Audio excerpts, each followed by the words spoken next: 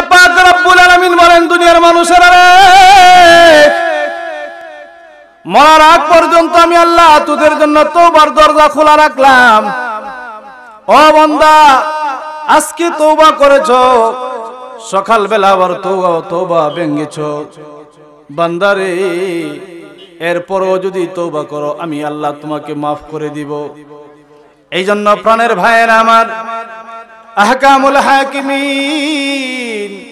আল্লাহ রাব্বুল আলামিন ডাক দেয়া বলেন, দুনিয়ার মানুষেরা সাবধান, তোদের গুনার দিকে তাকাইয়া, আমি আল্লাহর রহমত কেন নৈরাশা হইস না?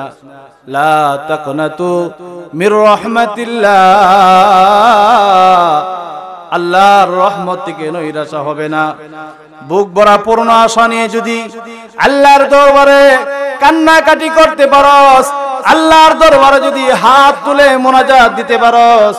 এ বান্দা বান্দি বেশি নয়, একটা মাসির মাথা পরিমাণ চোখের পানিও যদি তোদের চোখ থেকে ফেলতে পারস, তাহলে আল্লাহ পাক রব্বুল আলামিন ফরমান, আমি আল্লাহ তোর জিন্দিগির গুনাহ মাফ করে দিব।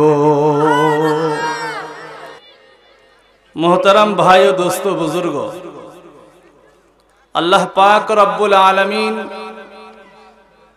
আঠারো হাজার মতান্তরে আশি হাজার মখলুকাত সৃষ্টি করেছেন।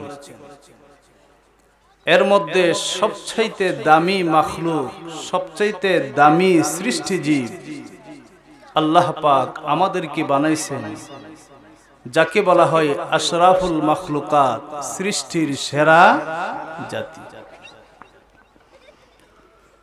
আল্লাহ পাক রব্বুল আলামিন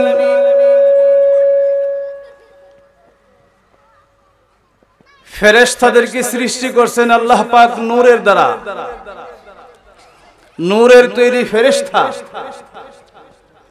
আল্লাহ পাক জিন্নাতকে বানাইছেন আগুনের দ্বারা। আর আমাদেরকে আল্লাহ পাক রব্বুল আলামিন বানাইছেন মাটির দ্বারা। আমাদের আদি পিতা আদম আলাইহিস সালাতু ওয়াস সালামকে যে সময় বানাইবেন সৃষ্টি করবেন। তখন আল্লাহ পাক রব্বুল আলামিন ফেরেশতাদেরকে নিয়ে একটু পরামর্শ করলেন। আমি ভূমিকার মধ্যে সংক্ষিপ্ত আলোচনা করতেছি। আমার ভূমিকাটা যদি মনে রাখতে পারেন, স্মরণ যদি তাকে মনোযোগ যদি তাকে তাহলে সামনের আলোচনাটা বুঝতে সহজ হবে। আল্লাহ পাক ফেরেশতাদেরকে নিয়ে পরামর্শ করলেন। وإذ قال ربك للملائكة إني جاعل في الأرض خليفة ফেরেশতাদেরকে নিয়ে পরামর্শ করতেছেন যে আল্লাহ তাআলা আল্লাহ পাক বলেন হে ফেরেশতারা আমি আমার প্রতিনিধি বানাইতে চাই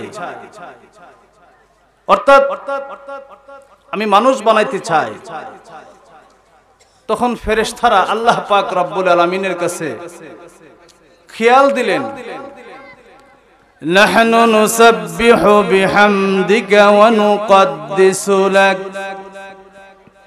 আল্লাহ আপনার প্রশংসার জন্য আপনার গুণগান আপনার তসবি তাহলিলের জন্য তো আমরাই যথেষ্ট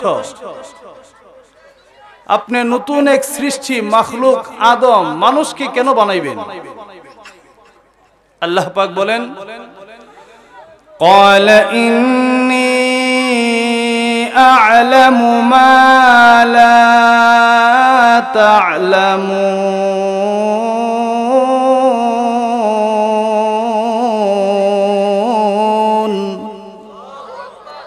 আল্লাহ পাক বলেন আমি যা জানি তোমরা তা জানো না সকল ফেরেশতারা বুঝতে পারলেন যে আল্লাহ পাকের সিদ্ধান্ত আল্লাহ পাক সেই মানুষকে বানাইবে।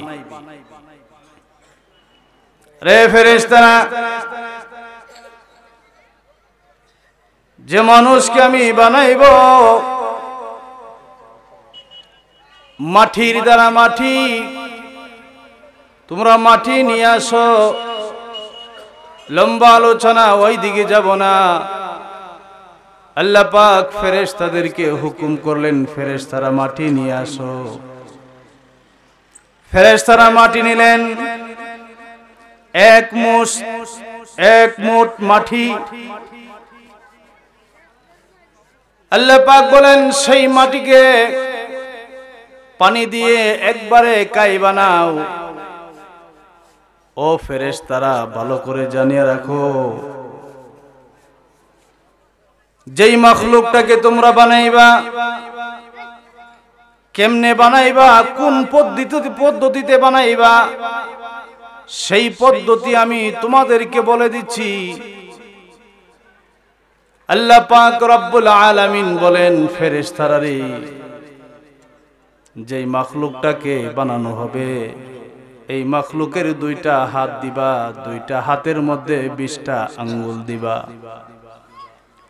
হে ফেরেশ তারা দুইটা পাও দিবা।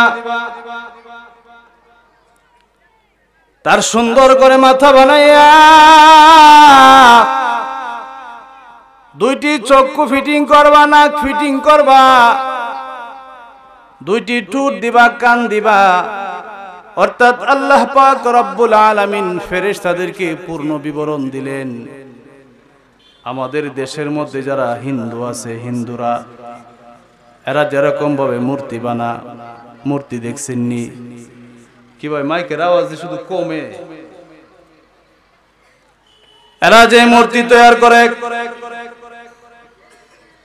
সেরকম ভাবে বানালেন।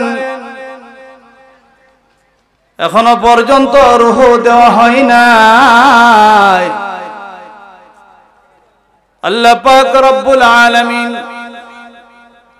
যেইভাবে বিবরণ দিয়েছেন ফেরেশ তারা সেইভাবে তৈয়ার করেছেন। এবার আহকামুল হাকিমিন, আল্লাহ রব্বুল আলামিন। ফেরেশ তারা বলেন নগো মালিক, ওগো আল্লাহ, আপনি যেইভাবে বলেছেন, হুবহু সেইভাবে বানাইলাম। দেখেন তো দেখি, আপনি যেইভাবে বলেছেন, আপনার মতে হয়েছে কিনা।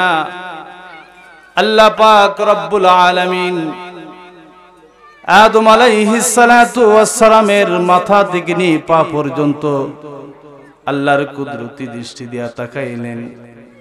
তাকায়া বলে, ফেরেশতারা রে, তোমরা যে আমার আদমকে বানাইছো সেই আদমটা আমার মন মতো হই নাই। আল্লাহ পাক রব্বুল আলামিন এমনি আল্লাহর কুদরতি হাত কানা এরকম ভাবে বাহির করলেন, আল্লাহু আকবার বলেন। আল্লাহর কুদরতি হাত কানা বাহির করে আদম আলাইহিস সালাতু ওয়াস সালামের পুরাটা চেহারা পুরাটা মুখমণ্ডল, আল্লাহর কুদরতি হাত দিয়ে ঢলে ঢলে সুন্দর করে দুইটা চোখ করে আবার সুন্দর করে ফিটিং করলেন। নাক ডারে আল্লাহ পাক আল্লাহর কুদরতি হাত দিয়ে ফিটিং করলেন। ঠোঁট গুলোরে এরকম ভাবে ফিটিং করলেন। আল্লাহ পাক রব্বুল আলামিন আল্লাহর কুদরতি হাত দিয়া সেই আদম আলাইহিস সালাতু ওয়াস সালামের চেহারাটারে বানাইয়া সমস্ত ফেরেশতাদের সামনে আল্লাহ পাক রব্বুল আলামিন বললেন, লাকাদ খালাকনাল ইনসানা ফি আহসানি তাকওয়িম। আল্লাহু আকবার! হে ফেরেশতারা, আমি যত মাখলুকাত সৃষ্টি করেছি যত মাখলুকাত আমি আল্লাহ পাক সৃষ্টি করেছি, এর মধ্যে সবচাইতে সুন্দর করে আমি, আমার কুদরতি হাত দিয়া অত্যন্ত সুন্দর করে অবয়ব গঠন দিয়ে আমি মানুষকে বানাইছি। আল্লাহ পাক রব্বুল আলামিন এবার আদম আলাইহিস সালাতু ওয়াস সালামের ভিতরে রূহ দিলেন। আদম আলাইহিস সালাম জীবিত হলেন। আল্লাহ পাক বলেন, ফানাফাখতু ফীহি মির রূহি। আদমের ভিতরে যখন রুহ দেওয়া হলো, এবার আদম ওয়াস কথা বলতে পারে। প্রাণের ভাইয়ের আমার ভালো করে একটু লক্ষ্য করে শুনুন। আল্লাহ পাক বলেন, ফেরেশতারা রে, এটা একটা আমার নতুন সৃষ্টি, নতুন মাখলুক। আমাদের দেশে যখন নতুন এমপি হয়, নতুন যখন মন্ত্রী হয়, নতুন চেয়ারম্যান হয়, এলাকার মানুষ, দেশের মানুষ তাকে সংবর্ধনা দিতে হয়। সংবর্ধনা দেয় কিনা? আরও জোরে কম দেই কিনা? আল্লাহ পাক রব্বুল আলামিন বলেন, হে ফেরেশতারা, আমার নতুন এক মখলুক, নতুন এক সৃষ্টিজীব অত্যন্ত মায়া করে, মোহাব্বত করে আমি আল্লাহ বানাইছি। আমার সেই নতুন মখলুককে সংবর্ধনা দিতে হবে। সংবর্ধনা কি? আল্লাহ পাক বলেন তোমরা সকলেই সেই আদমকে সেজদা করো সুবহানাল্লাহ বলেন فسجد الملائكة كلهم أجمعون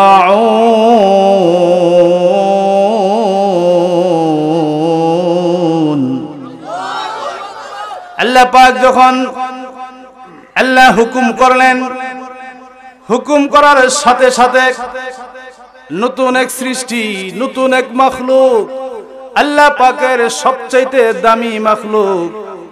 আল্লাহ পাক রব্বুল আলামিন বলার সঙ্গে সঙ্গে ফেরেশতারা সাথে সাথে সেজদা করে নিল।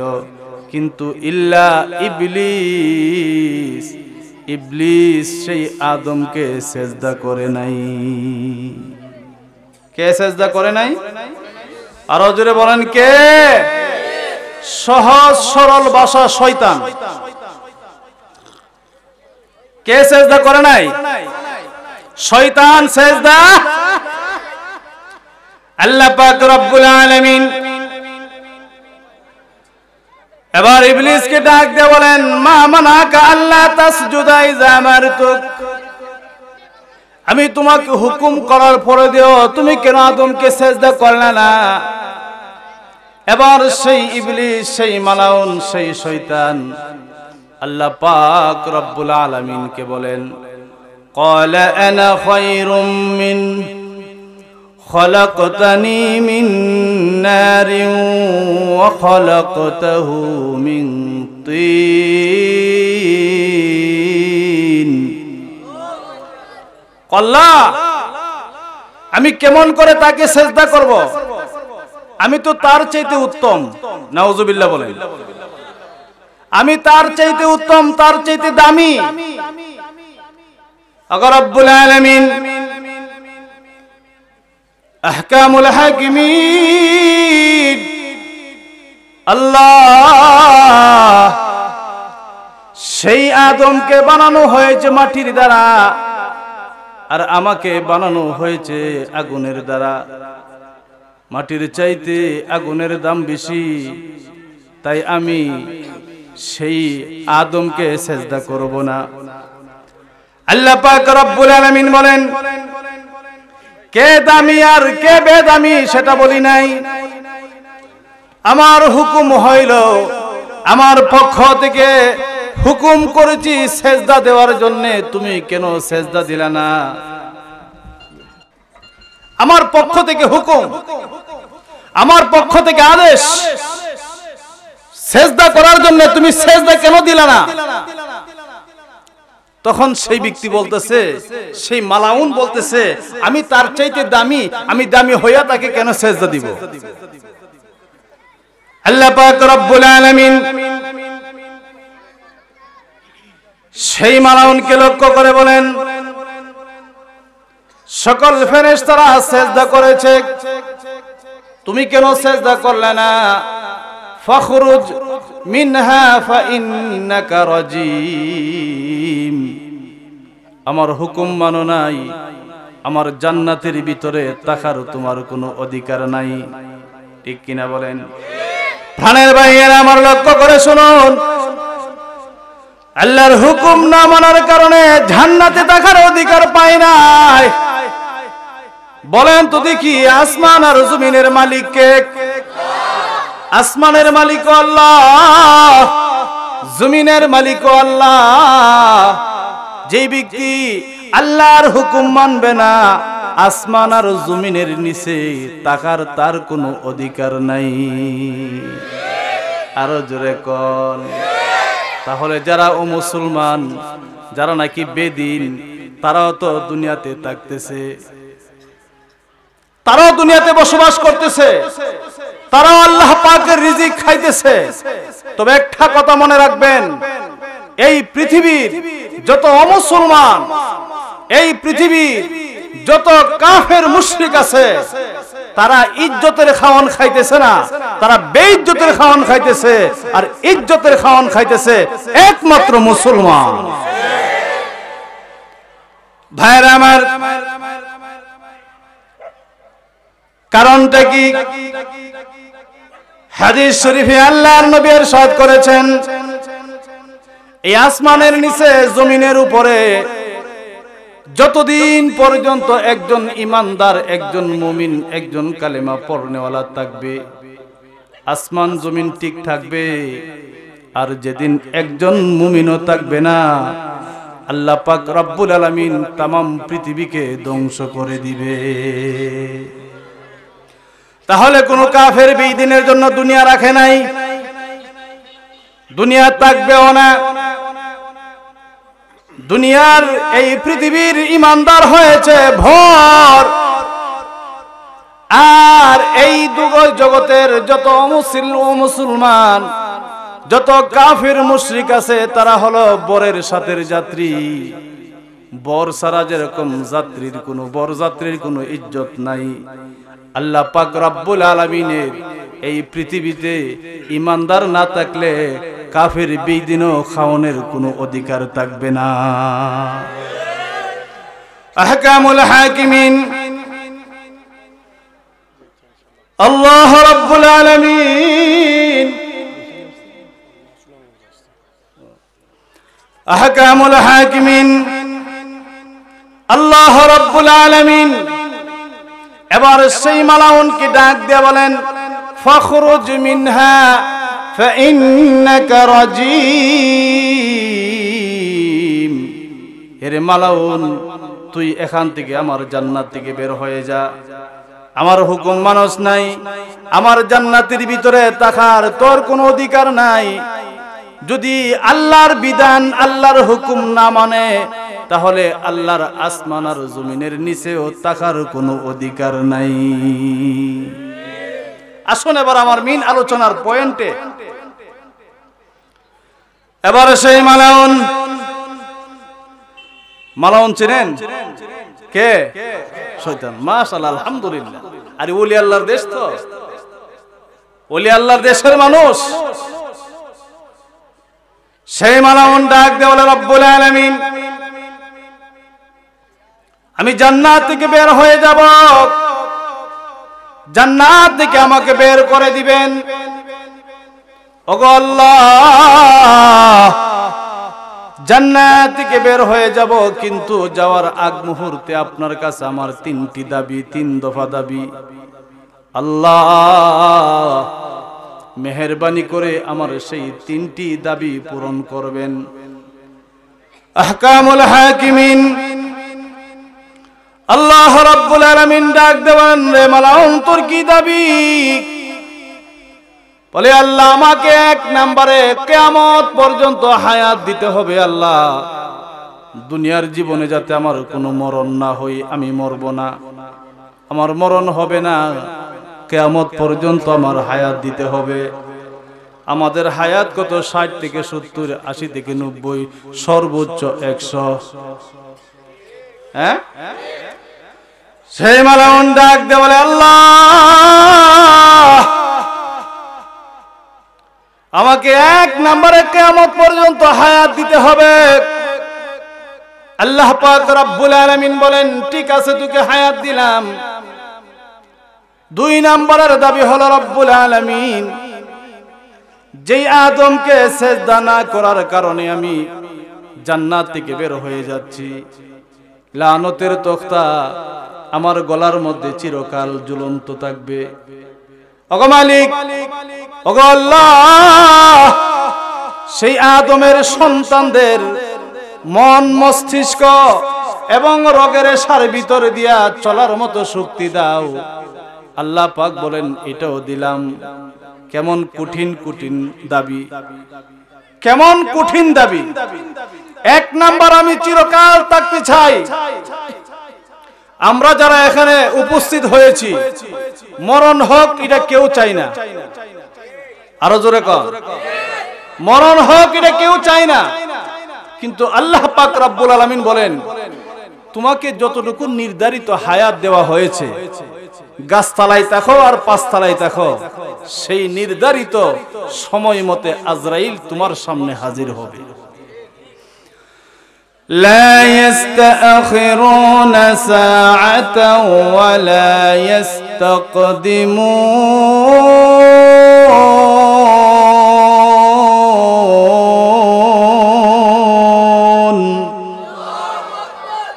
কোন মানুষের জান কোন মানুষের রুহ আগেও নেওয়া হবে না পরেও নেওয়া হবে না নির্ধারিত টাইমে তার কাছে মালাকুল মত আজরাইল আসবে আপনারা শুনেছেন সাদ্দাতের কথা বেহেস্ত বানাইছে নিজের হাতে। সারা দেশের সম্পদ দিয়া। সারা দেশের সুন্দরী রূপসী নারী দিয়া হুরপুরি বানাইছে। যেদিন উদ্বোধন করবে, গেটের মধ্যে আজরাইল হাজির।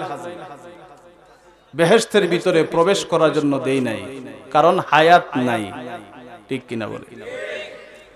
আল্লাহর নবী বিশ্বনবী রহমাতুল্লিল আলামিন এটা শুধু একমাত্র নবীদের বৈশিষ্ট্য ছিল। মালাকুল মউত আজরাইল, আল্লাহর নবীর সামনে যাইয়া বলেন, নবীজি, আমি আপনার নিকট এসেছি, আল্লাহ পাক আমাকে আপনার দরবারে পাঠাইছেন। অগনবীজি আপনি যদি দুনিয়াতে থাকতে চান, আল্লাহ পাক হায়াত বাড়ায় দিতে পারে।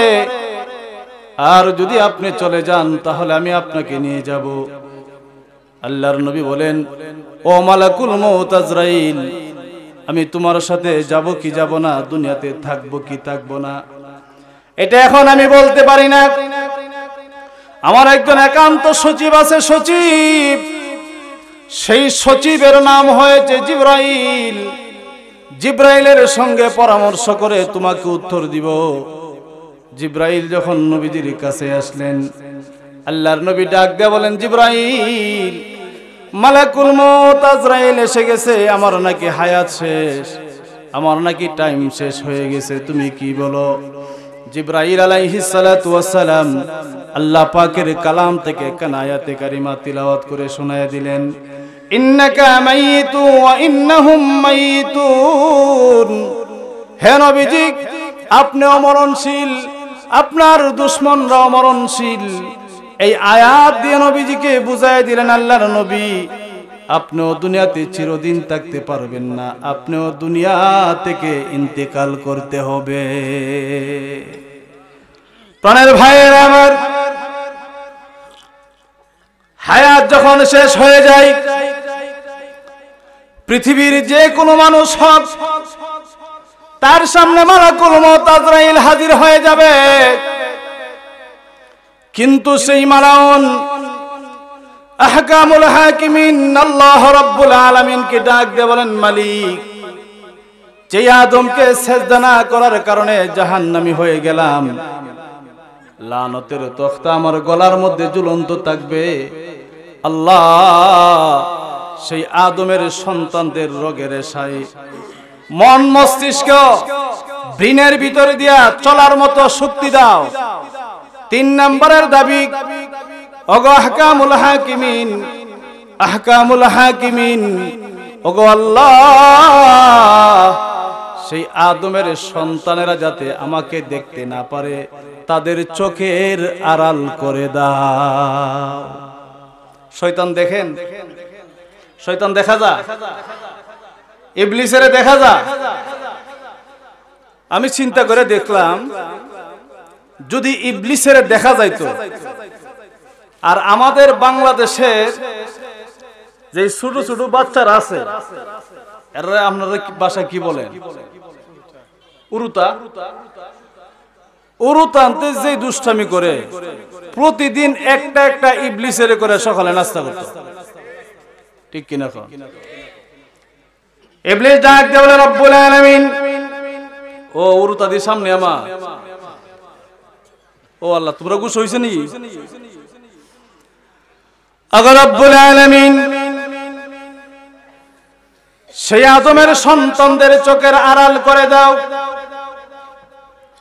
আল্লাহ পাক রব্বুল আলামিন বলেন রে মালাউন ইবলিস, আমি আল্লাহ পাক রব্বুল আলামিন তোকে যে সেই আদমের সন্তানের চোখের আড়াল করে দিব।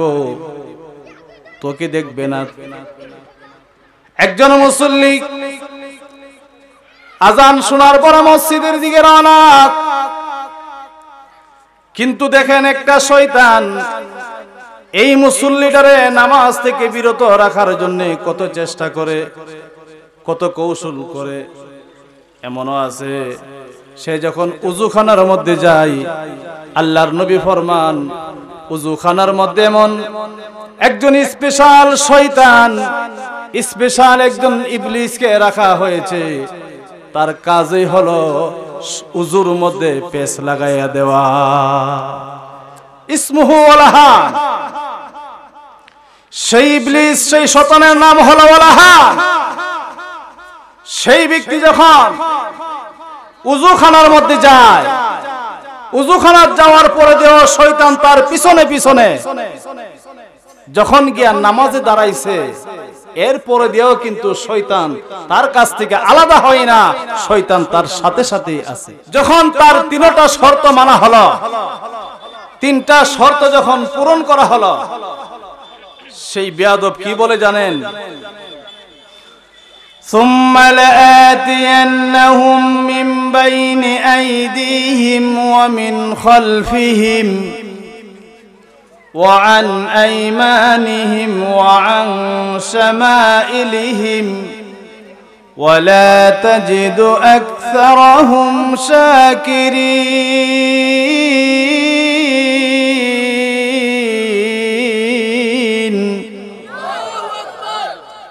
রব্বুল আলামিন যে আদমকে সেজদা না করিয়া জাহান্নামী হয়ে গেলাম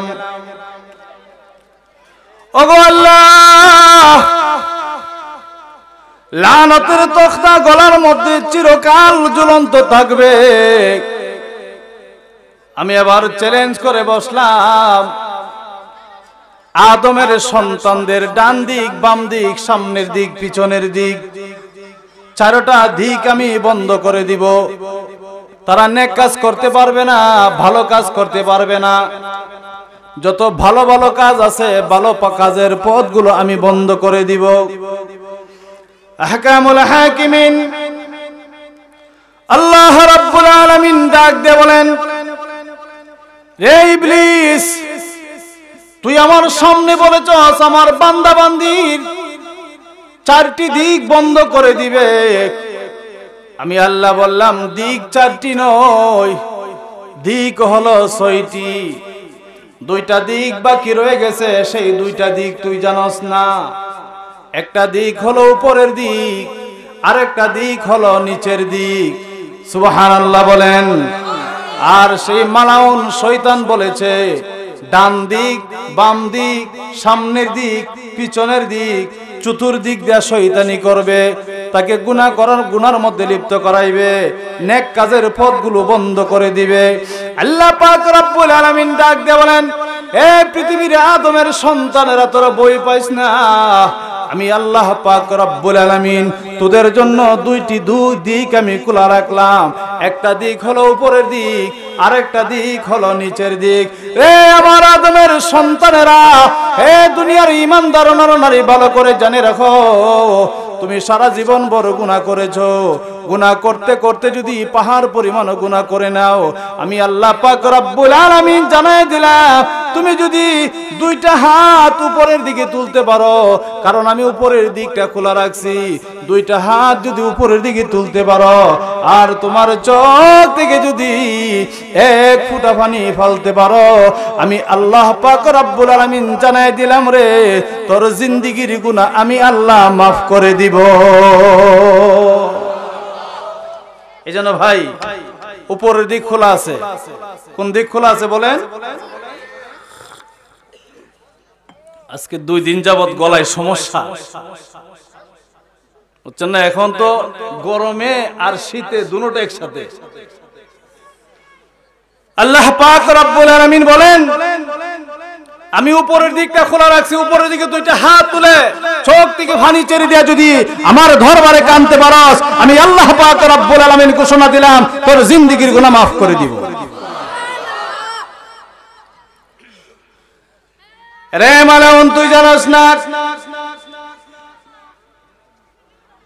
আমি আহকামুল হাকিমিন, আল্লাহ রাব্বুল আলামিন। আর একটা দিক আমি খোলা রেখেছি, সেই দিকটা হলো নিচের দিক। আমার বান্দা বান্দির আমি চার আঙ্গুল কপাল দিয়েছি। আর এই চার আঙ্গুল কপালের মালিক কে? আরও জোরে বলেন। চার আঙ্গুল কপালের মালিক হইলেন আল্লাহ। আল্লাহ পাক রব্বুল আলামিন চারা আল্লাহ পাকের কুদরতি পা চারা এই চার আঙ্গুল কপাল কোন জায়গায় ব্যবহার করা যাবে না, ঠিক কিনা বলেন? যদি এই চার আঙ্গুল কপাল আল্লাহ ছাড়া অন্য কোথাও ব্যবহার হয়, তাহলে সে মুশরিক হয়ে যাবে। আর আল্লাহ পাক বলেন, সকল গুনাহ মাফ করতে পারি, কিন্তু শিরিকের গুনাহ আমি আল্লাহ মাফ করব না। এই জন্য ভাইয়েরা আমার কাহারও সামনে মাথা নত করা যাবে না। মাথা নত করতে হবে একমাত্র আল্লাহ পাকের সামনে, ঠিক কিনা বলেন? তাহলে কোনো মাজারের সামনে মাথা নত করা যাবে না। কোনো পীর বাবার সামনে মাথা নত করা যাবে না। কোনো ওলি আল্লাহ হক, গাউস হক, কুতুব হক কাহারও সামনে মাথা ঝুকানো যাবে না, মাথা নত করা যাবে না। কারণ এই চার আঙ্গুল কপাল একমাত্র আল্লাহর কুদরতি পায়ের জন্য রিজার্ভ করা হয়েছে। প্রাণের ভাইয়ের আমার, একটু ভালো করে স্মরণ করুন। এই যে কপাল দিয়ে আমরা আল্লাহর কুদরতি পায়ে সেজদা দেই, আল্লাহ পাক রব্বুল আলামিন বিশ্ব জানাই দিলেন নবীজি,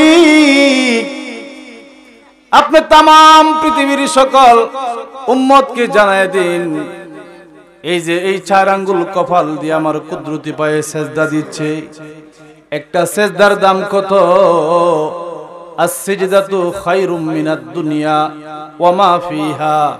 সাত আসমান আর সাত জমিনকে যদি এক পাল্লাই রাখা হয়, আর আল্লাহর কুদরতি পায়ে যে আমরা সেজদা করি, এই সেজদাটাকে যদি এক পাল্লাই রাখা হয়, তাহলে একটা সেজদার দাম আল্লাহর কাছে সাত আসমান, সাত জমিনের চাইতেও বেশি। এই জন্য প্রাণের ভাইয়েরা, ভালো করে খেয়াল করতে হবে। এই আল্লাহ এই কপাল কাহারও সামনে নত করা যাবে না। আমাদের এলাকার মধ্যে একটা প্রবাদ আছে, আমাদের এলাকার মধ্যে একটা সমস্যা আছে। সেই সমস্যাটা হলো, আপনাদের এলাকায় আছে কিনা জানি না। মুরব্বীদেরকে এরকম ভাবে মাথা ঝুঁকায়া সম্মান করতে হয়। নতুন দামান অথবা নতুন কনে গেলে ভারীর মুরব্বীদেরকে সালাম করতে হয়, তাদের পায়ের কাছে মাথা নত করতে হয়। সাবধান সাবধান। এটা কখনো জায়েজ নয়। হারাম হারাম। কখনো করা যাবে না, ঠিক কিনা বলে? মাথা ঝুঁকাইতে হবে একমাত্র আল্লাহর দরবারে। কার দরবারে? আল্লাহ পাক রব্বুল আলামিন বলেন, হে দুনিয়ার মানুষেরা আমি আল্লাহ পাক রব্বুল আলামিন দুইটা দিক খোলা রাখলাম। একটা দিক হলো উপরের দিক আর একটা দিক হলো নিচের দিক। বান্দা বান্দিরে শয়তানের দুখাই পরে গুনাহ করে নিয়েছো। নফসে আম্মারার দুখাই পরে গুনাহ করে নিয়েছো। ও বান্দা বান্দি, তোর গুনার দিকে না তাকাইয়া আমি আল্লাহ পাক রব্বুল আলামিনের রহমতের দিকে তাকাইয়া, তুই যদি আমার দরবারে কানতে পারস, বান্দা বান্দিরে, দুইটা হাত যদি উপরের দিকে তুলতে পারস, আমি আল্লাহ পাক রব্বুল আলামিন বলে দিলাম, তোর জিন্দিগির গুনাহ মাফ করে দিব। আমার ভাইয়েরা, আল্লাহ পাক রব্বুল আলামিন মাফ করে দিয়েছে, শত শত ঘটনা রয়েছে। ওই দিকে আমি যাব না। আমার মিন আলোচনা হয়েছে, আজকে যে জিনিসটা আলোচনা করতে চাই, শয়তান যদিও চতুর্দিক বন্ধ করে দেই, কিন্তু আল্লাহ আমাদের জন্য তৌবার দরজা খোলা রেখেছেন। বান্দা বান্দি মৃত্যুর আগ মুহূর্তে যদিও তৌবা করতে পারো, আল্লাহ পাক রব্বুল আলামিন বলেন, আমি আল্লাহ তোর তৌবাকে কবুল করে নিব। হাদিস শরীফ থেকে শোনাচ্ছি। আল্লাহর নবী বিশ্বনবী রহমাতুল্লিল আলামিন বলেন তিসআতাও ওয়া তিসঈনা রাজুলা। বনি ইসরায়েলের একজন ব্যক্তি নিরানব্বইটা হত্যা করেছে, নিরানব্বইটা হত্যা। একটা নয়, দুইটা নয়, নিরানব্বইটা হত্যা নিরানব্বইটা মার্ডারের আসামি হইয়া একজন রাহেবকে জিজ্ঞাসা করলেন, সাধারণ একজন গ্রামের একজন মুন্সি, ওনাকে জিজ্ঞাসা করলেন, ভাই, আলাহু তাওবাতুন, আমার জন্য কি কোনো তওবার সুরত আছে? আমাকে কি আল্লাহ পাক রাব্বুল আলামিন কোনো মাফ করবে? তুমি কি করেছ? বলে, আমি একটা নয়, দুইটা নয়, আমি নিরানব্বইটা হত্যা করেছি। কয়টা হত্যা? আমার কথা বুঝতেছেন? কয়টা হত্যা করেছি? তখন সেই ব্যক্তি বলে, আরে ভাই, একটা হত্যার জন্য তুই জাহান নামে যাইতে হই, আর তুমি নিরানব্বইটা হত্যা করেছ, তোমারে কি আল্লাহ মাপ দিব? এটা কখনো সম্ভব নয়। তখন সেই ব্যক্তিকেও হত্যা করা হয়েছে। এখন হয়েছে?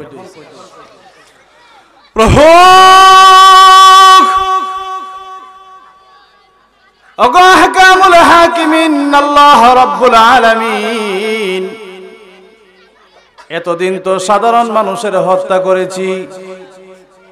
আজকে তো দেখা যায়, টুপিওয়ালা, দাড়িওয়ালারে হত্যা করলাম। এখন ভিতরে এরকম ভাবে কল্পনা আর জল্পনা আল্লাহ, এখন কি করি, এখন কি করি? তখন একজন মানুষের জিজ্ঞাসা করে, ভাই, এই এলাকার মধ্যে কোনো বিজ্ঞ বড় আলেম আছে কিনা আছে। ওই যে একটা দূরে একটা গ্রাম দেখা যায়। ওই গ্রামের মধ্যে একজন অনেক বড় হক্কানি আলেম আছে। ওনার কাছে যাইয়া যদি তোমার জীবনের গুণাগুলোকে সামনে নিয়ে তোবা করতে পারো আল্লাহ পাক মনে হয় তোমাকে মাফ করতে পারে। আরও জোরে কোন সুবহানাল্লাহ। আল্লাহর বান্দা, পুরা ভরসা নিয়ে এখলাসের সাথে সেই আলেমের বাড়ির দিকে রওনা হয়েছে। আল্লাহর বান্দা যখন সামনের দিকে রওনা হলেন সামান্য একটু দূর যাওয়ার পরে মালাকুল মউত আজরাইল তার সামনে হাজির হয়ে যায়। আজরাইল যদি হাজির হয়ে যায়, কাউকে খাতির করবে, সময় দিবে। সময়ও দিবে না। শ্বাস ফেলার কোনো সময় নাই। নিঃশ্বাসের আমাদের আঞ্চলিক ভাষা হলো, নিঃশ্বাসের কোনো বিশ্বাস নাই। আজরাইলের চেহারা দেখে অবস্থা টাইট মালাকুল মউত আজরাইল তার রূহ বাহির করে নিলেন। ফাখতাসামাত ফিহি মালাইকাতুর রাহমা ওয়া মালাইকাতুল আযাব। তার রুহটা নেওয়ার জন্য জান্নাতের ফেরেশতা এসেছে, জাহান্নামেরও ফেরেশতা এসেছে। দুই দল ফেরেশতা এসে সেই ব্যক্তির আর নিয়ে টানে শুরু করল। কেউ বলে জান্নাতি, কেউ বলে জাহান্নামী। তখন আল্লাহ পাক রব্বুল আলামিন জিব্রাইল আলাইহিস সালাতু ওয়াস সালামকে আমিন বানাইয়া পাঠাইলেন, জিব্রাইল, যাও তাদের মীমাংসাটা মিঠাই দিয়ে আসো। জিব্রাইল আলাইহিস সালাম বলে, আল্লাহ এটা কেমনে আমি সমাধা করব? সেই ব্যক্তি যে যেখান থেকে রওনা দিয়েছে হুজুর বাড়ি পর্যন্ত, মনে হয় তিন ভাগের এক ভাগ রাস্তা গেছে আর দুই ভাগই রয়ে গেছে। আল্লাহ পাক রব্বুল আলামিন বলেন, তুমি যাও। আমার বন্দা যখন তোবার শুরুতে হুজুরের বাড়ির দিকে রওনা দিয়েছে, ওই সময় আমি আল্লাহ পাক তার জিন্দিগির গুনাহ মাফ করে দিয়েছি। রে জিব্রাইল, তুমি যাও, গিয়ে দেখবা যদি বেশিরভাগ জায়গা যাইয়া থাকে, জান্নাতের ফেরেশ তারা নিবে। আর যদি কম জায়গা যাইয়া থাকে, তাহলে জাহান্নামের ফেরেশ তারা নিবে। কিন্তু আল্লাহর কুদরত বোঝা যায় না। আল্লাহর বান্দা যতটুকু জায়গা অতিক্রম করেছে আল্লাহ পাক কুদরতি ভাবে ওই জায়গাটারে বাড়াইয়া দিয়েছে, সামনের জায়গাটারে কমায়া দিয়েছে, আল্লাহর বন্দারে জান্নাতের ফাইসালা করে দিয়েছে। এই জন্য ভাইয়েরা আমার, আল্লাহ পাক রব্বুল আলামিন বলেন, দুনিয়ার মানুষেরা মরার আগ পর্যন্ত আমি আল্লাহ তোদের জন্য তোবার দরজা খোলা রাখলাম। ও বন্দা আজকে তৌবা করেছ? সকাল বেলা আবার তৌবা তৌবা ভেঙ্গেছ বান্দারে, এরপরও যদি তৌবা করো, আমি আল্লাহ তোমাকে মাফ করে দিব। এই জন্য প্রাণের ভাইয়ের আমার, আহকামুল হাকিমিন, আল্লাহ রাব্বুল আলামিন ডাক দেয়া বলেন, দুনিয়ার মানুষেরা সাবধান, তোদের গুনার দিকে তাকাইয়া আমি আল্লাহর রহমত কেন নৈরাশা হইস না? লা তাকনাতু মির রাহমাতিল্লাহ। আল্লাহর রহমত থেকে নৈরাশা হবে না? বুক ভরা পূর্ণ আশা নিয়ে যদি আল্লাহর দরবারে কান্নাকাটি করতে পারস, আল্লাহর দরবারে যদি হাত তুলে মোনাজাত দিতে পারস, এ বান্দা বান্দি নয়, একটা মাসির মাথা পরিমাণ চোখের পানিও যদি তোদের চোখ থেকে ফেলতে পারস। তাহলে আল্লাহ পাক রব্বুল আলামিন ফরমান, আমি আল্লাহ তোর জিন্দিগির গুনাহ মাফ করে দিব। হাদিস শরীফে আল্লাহর নবী, বিশ্ব নবী রহমাতুল্লিল আলামিন ফরমান, হে আমার উম্মতেরা, হে আমার উম্মতেরা, আমার কোনো গুনাহ নাই, কিন্তু আমি বিশ্ব নবী রহমাতুল্লিল আলামিন প্রতিদিন এক শতবার আল্লাহ পাকের কাছে তৌবা করি। এর অর্থ হইল যে আল্লাহ, আল্লাহর নবী, বিশ্ব নবী রহমাতুল্লিল আলামিন দুনিয়ার উম্মতকে এই জিনিসটা জানায় দেওয়ার জন্য যে তোমরা বেশি বেশি করে কি করবা? আল্লাহর দরবারে তৌবা করবা। আল্লাহ পাক রব্বুল আলামিন যেন আমাদের সকলকে আল্লাহর দরবারে কান্নাকাটি করে জিন্দিগির গুনা মাফ করাইতে পারি, সেই তৌফিকটুকু যেন আল্লাহ তাআলা দান করেন। সকলে বলেন, আমিন। ওয়া আখির দাওয়ানা আনিল হামদুলিল্লাহি রাব্বিল আলামিন।